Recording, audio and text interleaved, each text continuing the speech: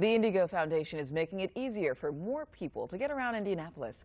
The foundation has awarded 27,000 bus passes to nonprofit organizations in the community.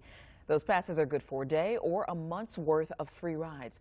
Easterseals received some of those passes, and organizers say this will help their clients get to work reliably.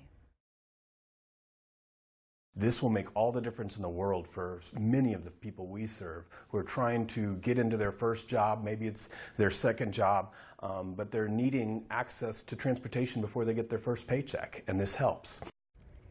Nearly 80 nonprofit organizations receive bus passes from the IndyGo Foundation. As well, those nonprofits can apply for these passes every year.